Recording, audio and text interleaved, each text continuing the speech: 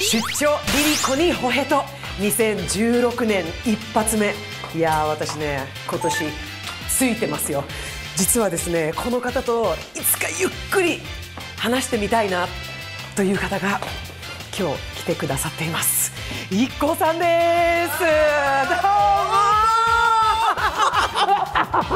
も絵が強いわ絵が強いわ。回のリリコにホヘトの舞台は東京。ゲストは美のカリスマ IKKO さん。厳しい芸能界で這い上がってきた2人が恋に仕事に生き様をぶっちゃける。まずはしっぽりとこちらのテーマから。40歳を超えてからの恋。最近ね、私もう本当にどうしたらいいかよくわからないことがありまして、あの恋愛なんですけれども、あのとん。でもない男に。好きになっちゃう。ダメンズとかそういうことじゃないんですよ、うんうん。好きになっていい感じになっても自分の誕生日に、やっぱり元カノと付き合いますっていうおめでとうの下にそれが来たんですよ、嫌な男ね。なんで今日を選んだんだろうっていう、実はリリコはバツイチ45歳の一人に。なかなか新しい恋が成就しないのだそう私たちみたいなちょっとこう、ええ強そうな女。意志がしっかりあってっていう女って意外とあのどう扱っていいかわかんない。綺麗になったねとか、最近すごく言うんですけれども、誰も抱いてくれないっていう。で抱いたところでリピーターがいない。なんかさだから意外と私たちって、あの勘違いされやすいよね。そう。私たちの方があーちょっと酔っ払っちゃったっていう女よりよっぽどねえ。可愛いと思うんだけどね。ね。あの日本の男たちが見る目がないんだねないでそう。ないいい加減にしてくれる本当に。恋愛は恋愛で、まあ、再婚っていうところになったら再婚してもらいたいけど、だけどなんかこう自然体でなんか今のまま言ってもらいたいなと思う。自然体を貫くリリコに恋の花が咲く日は来るのか。続いてのテーマは若者たちへ。いないんですよ人材。ああだからすぐ辞めるでしょ。ああやめるやめる。もう何か言うとやめるでしょ、そう。れで泣き出すでしょ、男たちに多いんだけど、もう無理っす無理っすとかって無理っすってあなた何やったのって絶対頑張ってないね。そう。絶対で頑張るっていうことは20年だと思うんですよ。私そう思う。そう。20年頑張らないと何も変わらないからね。そう。う。ん、本1当に。年頑張ったところで何もならないからね。そこで若者を代表して番組リポーターいろは組を仙台から東京へ緊急招集。芸能界での活躍のいろはを学ぶため大先輩から愛の説法を受ける。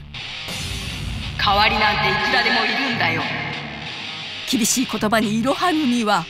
どういうタレントになりたいかなとかちょっとあのまだ見え見えないというか、一番重要なのは顔の綺麗な人っていうのは世の中にたくさんいっぱいいるじゃないですか。そうするともう綺麗とか汚いとかっていうよりも、パッと見た時に心の中で何を思ってんだろうとかっていうことだったりとかこの人たちってどういう意思で要はテレビに出てるんだろうとか、みんな正座してこの曲をずっと見て見てるっていうことじゃないからね、こう回しながらこう見てる時もある、その回しながら見てる時にやっぱり一瞬一瞬を大切にしてるとあこれ面白そうとかって言って、そこに止まってしまう。そのストップモーションっていう。本当に思ってることを喋ってるから多分人って止まると思うのね。そうそうそうそうそう。だから何を伝えたくてこの番組に出てるのか、その目標ただ出てるだけだったら代わりいっぱいいるからね厳しい芸能界を生き抜いた2人だからこそ言える重い言葉。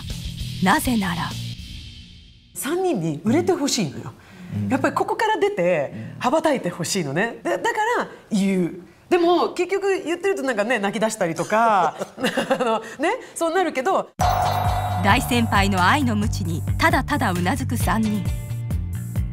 そんな中最初に口を開いたのは以前リリコの言葉に泣き出してしまった熊谷もともと緊張しいのはあるんですけどテレビで画面越しで見てる方が直接お会いして一緒にお仕事するってなった時にどんな方なんだろうかもう勝手に妄想が膨らむんですね。テレビで見てるリリコさんとまあ実際にお会いしてるリリコさんも全く変わらないんですけれどもまあどんな方じゃあなんだろう。わかるでしょ。今まで見てるんだったら。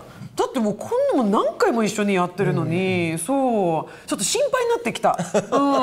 なんか緊張してしまって、なんか遠遠慮しちゃう方が先に出ちゃうんですよ、頭の中でこう考えちゃいすぎてこう言葉が出るまでにっていう。それまでに会話が終わってしまってたりとかするそうそう番組開始から半年以上。今も緊張と遠慮で力を出し切れないというが。テンションの低いのが一番ダメ、本当にねあの私たちって100%じゃなくって120%、100何十パーセントやっぱりこう体当たりのタイプだよね、誰も教えてくれないからね、この芸能界。全部人を見て盗む、感じて生きてください、はい。感じて生きると、絶対に分かるから、いろんなこと、飲みに行くのも飲みに行くんじゃなくて、感じながら飲むのよ、そうそうそうそうそう、絶対入ってるからそこの中の、バカ話してるようでそうそうそうそう。じゃない。バカ話なんてないから。そう。うん。まあ、私のエロネタだけはちょっとバカかな ってもありますけど。厳しくも温かい愛の鞭を受け3人が感じたことは。やっぱ人生のことを教えていただくっていうのはなかなか親でも学校でもそこまでないんですよね。で芸能界のことも誰も本当に教えてくれないっていうのが分かってでリリコさんは本当にいつも言ってくださるのでありがたいんですけれどもなんだろう。本当今も手汗でいっぱいなぐらい緊張して。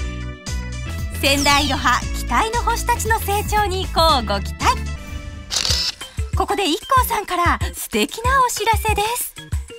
まあ、2016 in 仙台ということでですね2月の15日に月曜日ですあのやりますのでぜひぜひ電力ホールいらしてくださいね。最強の1週間になりそうですね。